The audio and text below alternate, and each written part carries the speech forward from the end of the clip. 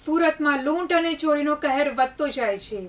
ત્યારે સુરતના ring road textile માર્કેટની સામે આવેલા પાર્કિંગની ઓફિસ પર હુમલો થયાની ઘટના સામે આવી છે.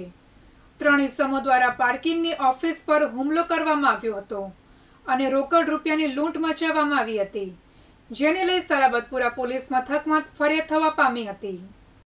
સુરતના રિંગ રોડ ટેક્સટાઇલ માર્કેટની સામે આવેલા પાર્કિંગની ઓફિસમાં મોહમ્મદ શાહિદને આરોપી તુલસી સહેજાદ અને અન્ય એક અજાણ્યો ઈસમને નોકરી પરથી કાઢી મૂકતા ફરિયાદી ઉપર હુમલો કર્યો હતો અને ફરિયાદીને જાનથી મારી નાખવાની ધમકી પણ આપી હતી અને ઓફિસનું ટીવી પણ તોડી નાખ્યું હતું અને ફરિયાદીના પાર્કિંગના દિવસ દરમિયાનનો વકરો એસી હજાર લૂંટ કરી ફરાર થઈ ગયા હતા.